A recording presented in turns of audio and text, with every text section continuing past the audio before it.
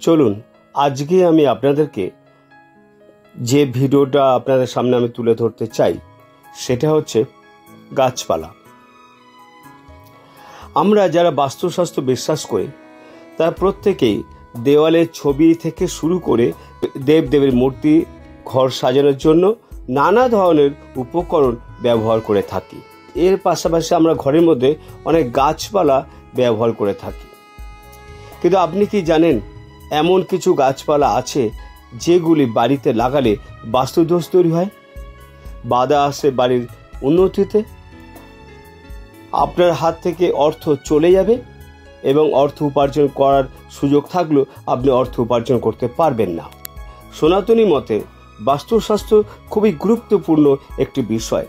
বাস্তু মেনে ঘর সাজালে পরিবারের সুখ, স্বাচ্ছন্দ্য ও অর্থের যোগান হতে থাকে।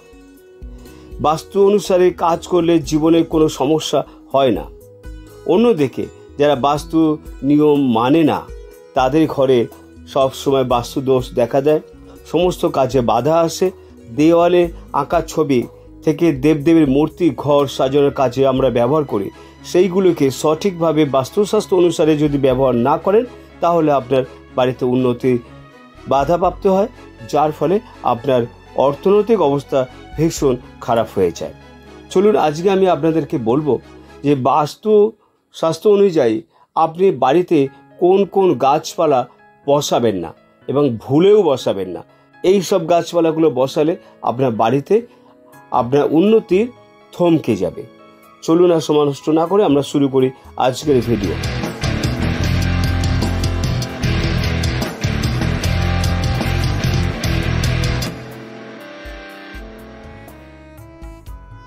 বনসাই সম্পর্কে অনেকের ধারণা আছে। তবু বাস্তুশাস্ত্রতে বনসাইয়ের ব্যবহারটা কি হওয়া উচিত সে বিষয়ে আমি আপনাদের বলব। বনসাই দেখতে খুবই আকর্ষণীয়। বাড়ির সৌন্দর্য বাড়াতে এর ভূমিকা অনবদ্য। কিন্তু বাস্তুশাস্ত্র অনুসারে বনসাই গাছ থেকে নেতিবাচক শক্তি ঘরে প্রবেশ করে। পরিবারের সদস্যদের মধ্যে উন্নতির বাধা সৃষ্টি করে। তাই বনসাই গাছ বাড়িতে না বসানোই ভালো। আপনারা জানবেন, বনসাই গাছের মধ্যে কি হয়, ওটাকে বাই প্রেশার দিয়ে বাধা প্রাপ্ত করায়। অর্থাৎ এই ধরনের গাছগুলো প্রাকৃতিক অনুযায়ী বড় হতে পারে না। তাদেরকে ছোট আকারে বানিয়ে রাখা হয়। তাই বাস্তুশাস্ত্র মনে করে, এই গাছগুলোকে যদি আপনি বাড়িতে রাখেন, তাহলে আপনার উন্নতিতে বাধা আসবে, আপনার উন্নতি থমকে যাবে।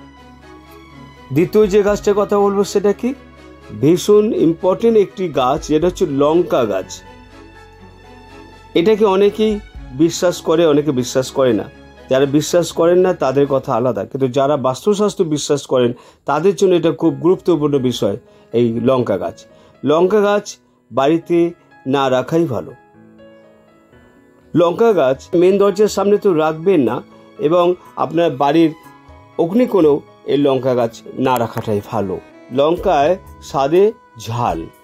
বাস্তুশাস্ত্র অনুসারে বাড়িতে এই গাছ লাগালে আপনার আর্থিক অবস্থা খারাপ থেকে আরও খারাপের দিকে নেমে যাবে এবং আপনার বাড়ির মধ্যে, সদস্যদের মধ্যে সবসময় মনোমালিন্য থাকবে, ঝগড়া থাকবে, সংসারে উন্নতি হবে না এবং ছেলের সঙ্গে, বৌমার সঙ্গে শ্বশুরের সঙ্গে, শাশুড়ির সঙ্গে, অর্থাৎ পরিবারের মধ্যে যত সদস্য আছে, সমস্ত সদস্যর মধ্যে একটা অশান্তি তৈরি হবে, ঝগড়া তৈরি হবে, সংসার ছাড়কার হয়ে যাবে। সেই কারণে ভুলেও বাস্তুতে লঙ্কা গাছ বসাবেন না। তৃতীয় যে গাছটা কথা বলব, সেটা হচ্ছে তেঁতুল গাছ। বাস্তুশাস্ত্র অনুসারে দরজার সামনে বা বাস্তুর মেন দরজার সামনে তেঁতুল গাছ রোপণ করা উচিত নয়। এর ফলে ঘরে নেতিবাচক শক্তি প্রবেশ করে। বাড়ি পরিবারের কলহ, অশান্তি, ঝামেলা। লেগেই থাকবে, অশান্তি থেকে রক্ষা পাবেন না। চতুর্থ যে গাছটা কথা বলব, সেটা হচ্ছে মেহেন্দি গাছ। বাস্তুশাস্ত্র অনুসারে দরজার সামনে মেহেন্দি গাছ লাগানো উচিত নয়। এই গাছে অশুভ শক্তি বাস করে। সেই জন্য ঘরে নেতিবাচক শক্তি ছড়িয়ে পড়ে। মানসিকভাবে অশান্তিতে ভোগেন এই পরিবারের সদস্যরা। তাই ভুলেও মেহেন্দি গাছ আপনি বাড়িতে লাগাবেন না। পঞ্চম যে গাছটি কথা বলব, সেটা হচ্ছে খেজুর গাছ। বাস্তুশাস্ত্র অনুসারে বাড়িতে খেজুর গাছ লাগানো একদম উচিত নয়। এর ফলে পরিবারের সদস্যরা নানাবিধ সমস্যার মধ্যে পড়বেন। আর্থিক অনটনের মধ্যে দিয়ে ওদেরকে চলতে হয়। তাই পারলে খেজুর গাছ আপনি বাস্তুর বাইরে বসানোর চেষ্টা করুন। ষষ্ঠ যে বিষয়টা নিয়ে কথা বলে সেটা খুবই গুরুত্বপূর্ণ বিষয়। ক্যাকটাস গাছ বাস্তুশাস্ত্র অনুসারে বাড়িতে ক্যাকটাস গাছ লাগানো উচিত নয়। কাঁটা দেওয়া গাছ বাধা নিয়ে আসে জীবনে।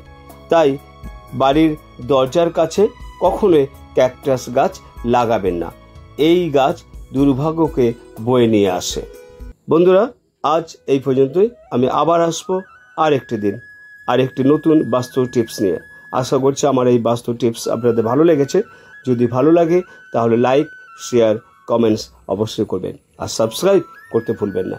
নমস্কার, ভালো থাকবেন।